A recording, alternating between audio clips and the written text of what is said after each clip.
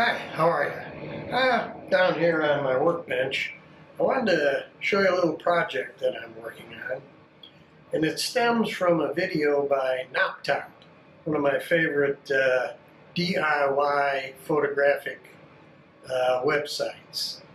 Um, Knoptop always comes up with some interesting ways to do things.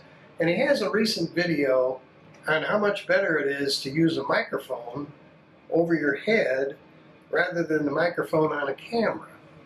And he showed how he did it. Um, it just so happens I thought I had the materials to do that uh, very inexpensively.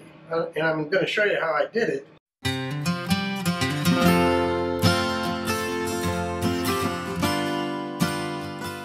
Uh, this is a light stand made by Fancier.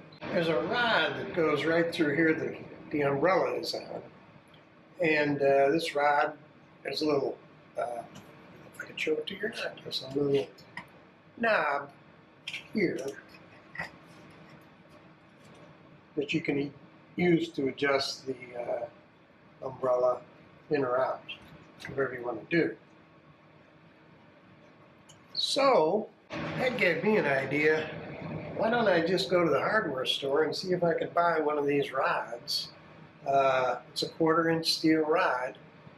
And maybe with the other light stand that I have, I can make a boom to hold a microphone. So I found the right steel rod at uh, the hardware store. Works perfect. Uh, this one, at this point, I have the cable for the microphone already zip tied on here. But the problem was then, how do you get the microphone to mount on the end of this? Here's what I did. I bought a half inch PVC T. And then I bought a little brass fitting that has rough threads on the outside and quarter 20 threads in the middle. I screwed that into the T. You can see that.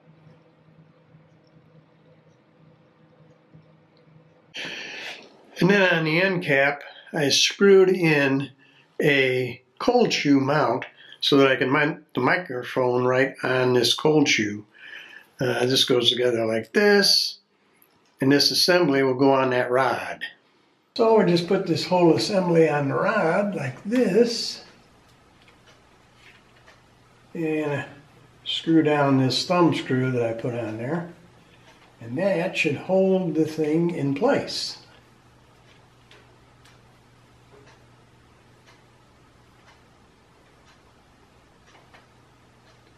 Now it's just a matter of putting the microphone on there and trying it out.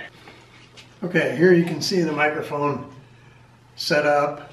The one change I had to make was I used a mini ball here so I could bend the mic down.